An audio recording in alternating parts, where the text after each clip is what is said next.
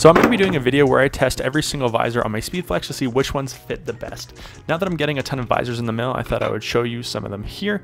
These are all from NXTRND and they have two main models. The visor one is a flat design similar to like a Nike or an Under Armour, but then they also have their visor two, which is a bubbled look to go against Oakley and SHOC. Now I do have a bunch of different colors here. The first one they sent me was going to be this clear.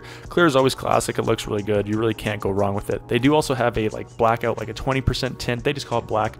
I have that one here. Again, always a really clean look, especially in this blackout helmet. Now I think this one is their red version, so it's kind of like a red iridium where there's kind of like some reds, some oranges, some yellows in there. Really cool effect on there again in this visor one style. Next one is going to be their purple again in the visor one here. On this helmet, honestly, I think it looks super clean. That purple is just so nice on there. Now this one here is going to be the visor two. You can see it has that bubbled look, and this is in the black here. Again, super clean. Really like all these. Comment down below, would you try one of these, or are you sticking with Oakley and SHOC?